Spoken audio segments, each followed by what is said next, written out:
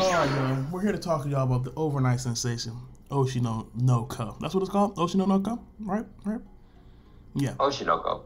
Yeah, tomato, tomato. This was not on my radar until TikTok. Because if y'all think I'm going to sit there and scroll through my anime list all day, you're smoking. I saw that it overtook Fullmetal Alchemist Brotherhood. And like any other Fullmetal Alchemist Brotherhood devoted fan, I went over there and immediately downvoted it. Because why do y'all think this is better than Fullmetal Alchemist Brotherhood? Now, after that, I went over there and watched it. And I'm not going to lie to y'all. It's gas. Like, really gas. Like, like, like Lil Wayne light flicker, like, yeah, like that. Yeah, that, it's, it's that, guys. It's that. John is going to sit there and give you a synopsis. All right, all right. Now it's my turn to completely fumble whatever he just said. Oh, Oshi no Ko. It's about a patient of a doctor in a countryside hospital in Japan. She really idolizes Ai, who is quote unquote the main character for the episode. She's one of the most popular idols in all Japan, and the girl is terminally ill, and she all she could ever do is look up to her because she's not healthy enough to, you know, go outside, have a normal childhood. So she just grew up watching idols. So Ai became basically her her role model. And her doc, the doctor was always there supporting her. He took an interest in Ai too because of the sick patient that he was always with. And he told her one day if she when she turned 16, she would choose to become an idol, he'll support her too. Spoiler alert, sadly, the girl does not make it and succumbs to a terminal illness.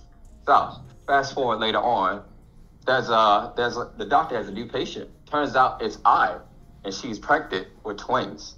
This will destroy her reputation if it gets out. So he he volunteers to look after her, her pregnancy. Why? Because he's reminded of his sick his his sick little patient and her. So they form this relationship. They become very close. And basically, the night before her pregnancy, the doctor's about to go home for the night because you know he has to deliver the babies. And on his way out, he stopped by somebody. He said, "Oh, so your Ai's doctor, right? Now this is supposed to be secluded information. Nobody's supposed to know about this." So the doctor's like, "How do you know things about this?" And so the guy runs off and doing what he do and doing what he thought was the right thing. He chased after her because he thought he could bring, bring her to and her unprotected and unborn babies. So he chases the stalker into the dark, into the darkness of the night. Doesn't find him, and next thing you know, he's he's blindsided off of a cliff and killed. And what happens after that?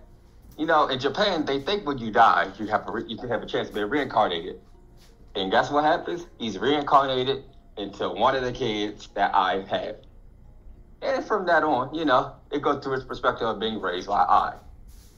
And, you know, there's some trials and tribulations. It's mostly talking about Ai building up her career, how she wants to be the very best kind of idol there is. But there's a blinded side. There's a there's a hard part about Ai that no one knows. She is unable to love. No matter how many songs she writes about loving or try to get close to her fan, she's faking all of it. And so she feels terrible because she's just living a lie in her eyes. So yeah, it's a pretty good episode.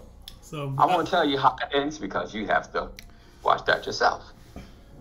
So the episode pretty much goes into depth of Ai pretty much tries to learn how to love not only her children, but how to love her fans, everything about that. So if y'all seen Oshi no Ko, don't put any spoilers in behind. But tell us, do y'all think Oshi no Ko is really good? Tell us what y'all thoughts on the first episode was of Oshi no Ko in the comment. Like, comment, subscribe, y'all. And uh we're gonna mess with y'all next time. Blue Lock video coming out soon. You shouldn't even mention that. Shut up.